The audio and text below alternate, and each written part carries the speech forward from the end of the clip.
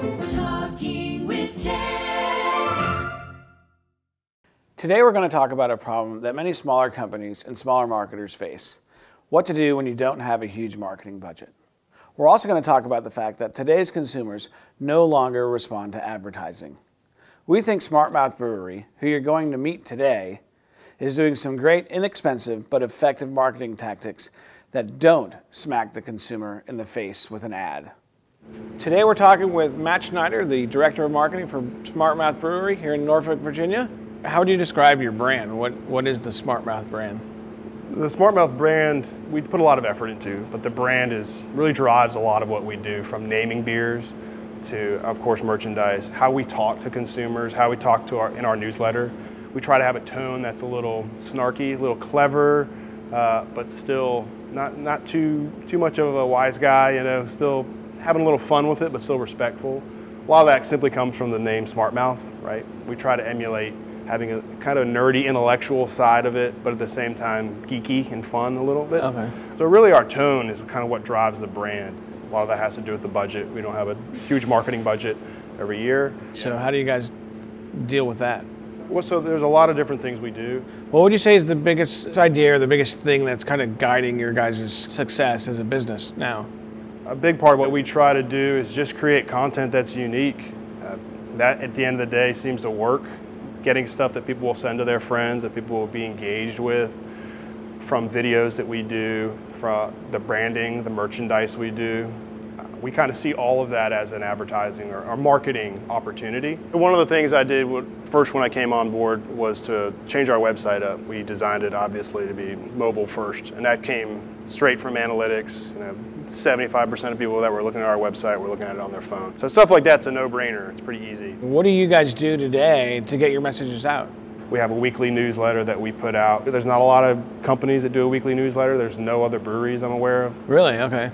But we found that it works because people are able to stay in touch and there's a lot of things that are happening. There's a Right. lot of events. There's new beers coming. You know, you talked about, you know, being specific with your advertising. A big part of what we do is social, of course. And we're also able to analyze and target the specific people we want to talk to. So a lot Right. of people are getting not on Facebook or people are Yeah. uh, not going to websites as often, not as often, but they want to hit the social venues first. Another just kind of unique uh, area to pursue that we've had success with is just not even digital, but I guess guerrilla, right? That's, Okay. the, that's the correct term from marketing, Yep. marketing class.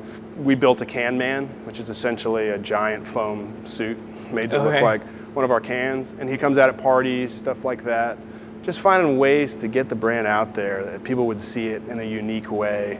Uh, and people take selfie. You know, we're in the age of the selfie, and people Yep. see a guy in a can mascot. Okay. You know, they take pictures and what. So we, we try to make sure we're giving people stuff that's unique. Cool. So, you know, you mentioned that you do um, events. So, how do you guys deal with that? So we try to make sure we're doing events that are important, not just phoning it in. We recently had a fundraiser.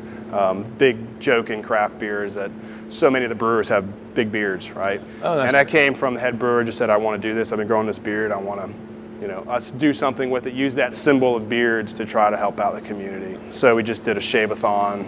Had brewers from all over Hampton Roads just this past Saturday, uh, and raised about almost seven thousand dollars for Oh, cool. CHKD. So, merch, merch as advertising. So, you know, anytime somebody's wearing a sweatshirt or has the keychain, you know, that's, like I said, it's another ad. At the end of the day, we really try to curate a lot of what goes out and see all of those as mini billboards or mini ads themselves, knowing that oh my you know my friend has that shirt or oh what's that? It Right. gives you a little bit of credibility also. There's that cool factor, if you will, also, right? You know, everybody wants the keychain and everybody wants a cool swag shirt. So, you know, that's that's great for you guys.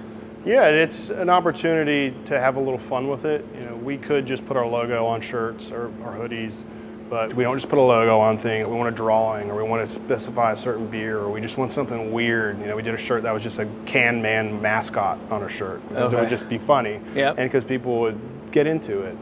Um, so we certainly take that seriously, uh, but also you know, have fun with it. Yeah, I love your labels. You know, with with all like kind of the equations and Yeah, you know, I never really put that two and two together. The whole like smart nerdy but smart mouth at the same time kind of uh, yeah. twist on it, if you will. I think that's really cool actually, because you know, and then your labels kind of nail it, if you will, right? Great, So, I appreciate yeah. it.